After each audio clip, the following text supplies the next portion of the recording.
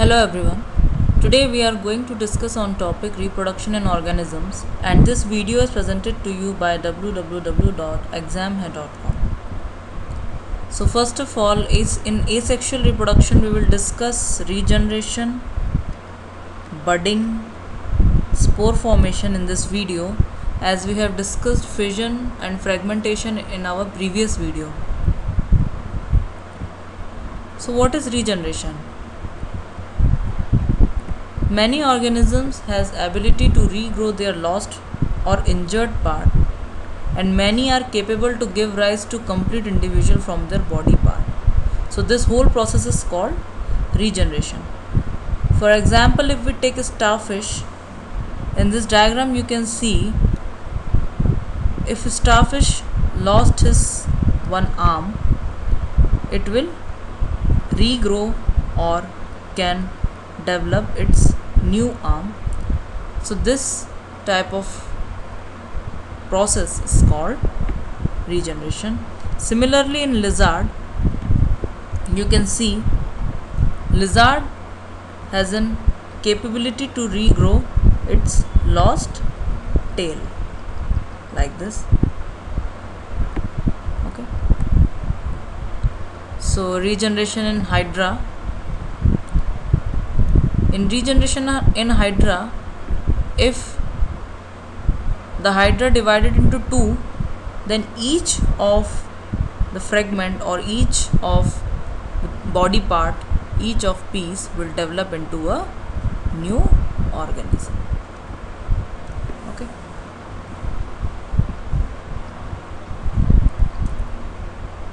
So what is the difference between fragmentation and regeneration so in fragmentation an organism break into fragment and each fragment develop into new organism whereas in regeneration organism may or may not develop into new individual. In fragmentation we have seen that each part of each uh, part of fragment will develop into new individual but in uh, in this you can see in regeneration an organism sometime will develop only its lost part. See, this tail cannot give rise, this uh, broken tail cannot give rise to a full lizard, full body of a lizard. So, but this is also regeneration. Also, human liver shows regeneration. Okay so likewise this is the difference between fragmentation and regeneration. In this diagram you can see if this fragment will grow a new organism like this then this is fragmentation. And if only a fragment only an arm is developing in an organism then this is regeneration. Okay. So next we are going to discuss budding. So in budding production of a new individual from an outgrowth of the parent individual. On the basis of the formation of bud budding is differentiated into two form exogenous bud and endogenous bud. For example if we take is an example of exogenous bud. In exogenous bud, the bud formation take place outside the body. Okay. In exogenous bud, the bud formation take place outside the body but remain attached to parent cell and in endogenous bud the bud formation take place inside the body and further it grow as an individual when come out of the body. So exogenous bud is seen in hydra yeast and endogenous bud is seen in sponges. So in this diagram a multicellular hydra budding is shown here so this bud is a part of parent cell. One of the cell see what is happening here is one of the cell of this parent cell will grow and develop into two like this. Okay? This is the single cell which grow into a bud. Okay? Like a cell is present here and this cell develop into a bud. This is a multicellular organism. It has a well organized cells many cells in this. I am talking about a single cell which is present here. So after this the bud this cell will divide continuously and this cell will develop a new individual with a tentacle new hydra with the tentacles. These are the tentacles present in the parent hydra and these are the tentacles present in the new hydra. Okay? After that uh, when this new organism or new hydra will grow and mature into an individual it will detach from the parent cell and get attached to the substratum. Substratum. And will develop into a new individual. Sorry i'm writing it again. Substratum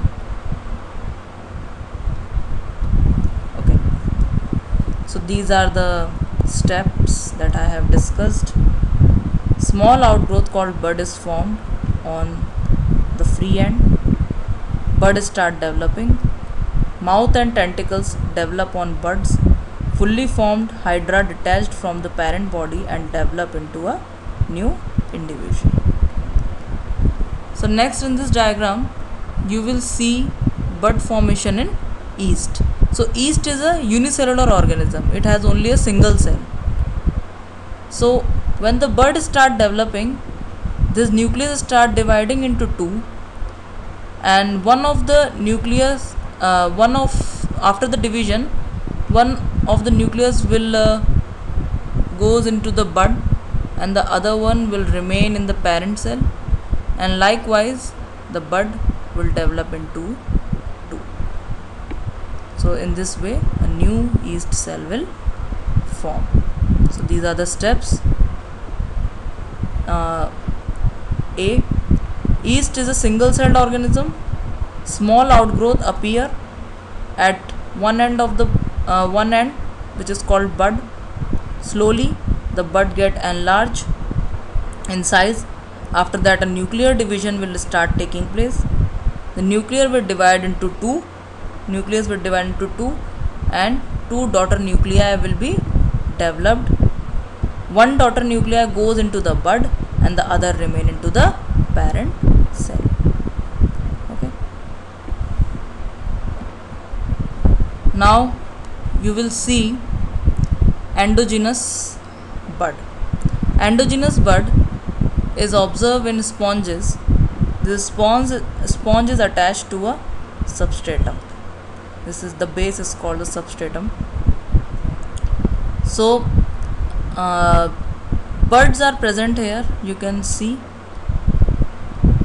along the wall of sponges. And this is osculum. This is a hollow area from which water is intake and coming out from the organism. Okay?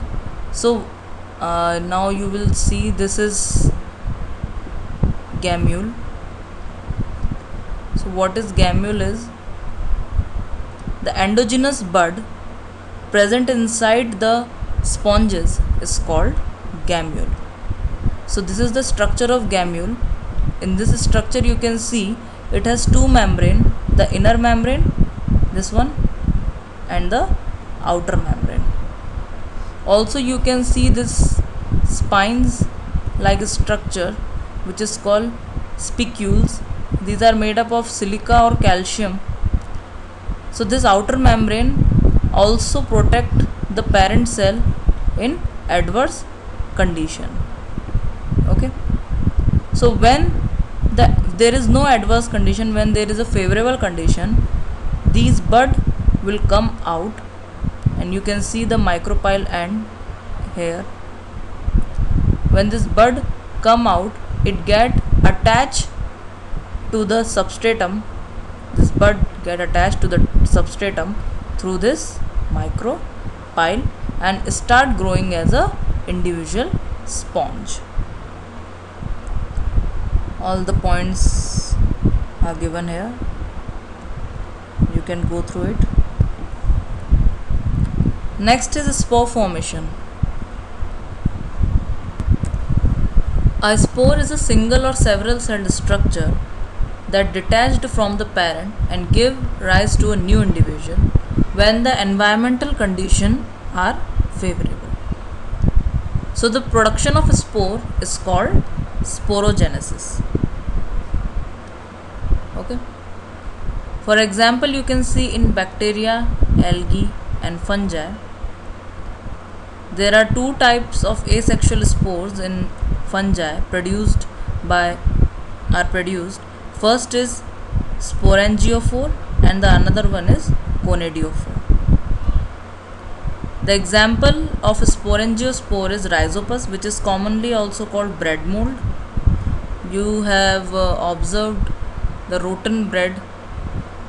If you have observed you have observed the rhizopus fungus present on the bread and the example of conidiospores is aspergillus.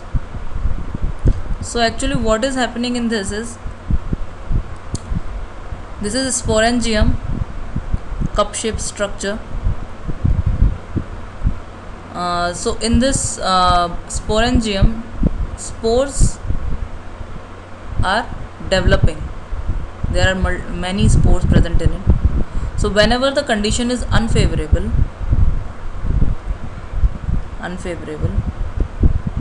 These spore remain inside the sporangia? But when there is favorable condition the spores released into the atmosphere and develop into uh, individual fungi.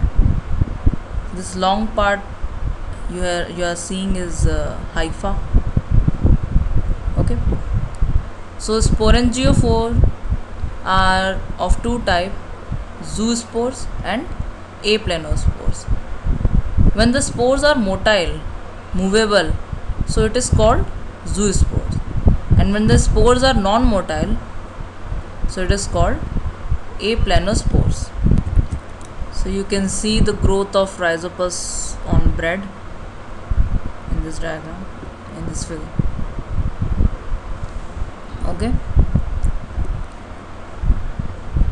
conidiophore in aspergillus chain like formation at the end of hyphae is called conidiophore you can see the chain like structure like this.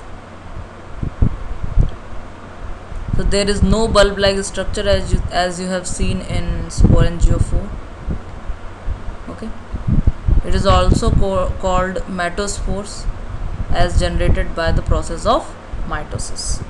So each of these spores will develop into a new full organism full fungi this is the picture of aspergillus Thank you for watching this video.